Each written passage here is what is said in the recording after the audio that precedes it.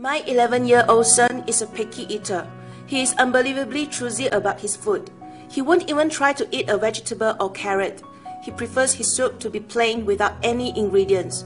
I was very concerned that he would become malnourished. As I was knew that Elken Spirulina is very nutritious, I started giving him Elken Spirulina. Later, his teacher told me that he had achieved rank 17 this year, compared to rank 28 last year, which is a big improvement. I felt very happy. In fact, I was aware of the improvement because as I gave him Elken Spirulina during his exams, I found that he was able to pay more attention in his studies and he even told me that he could remember things better. His results really surprised me. I feel that taking Elken Spirulina has really helped him a lot. It not improves his concentration, but also boosts his intake of nutrition.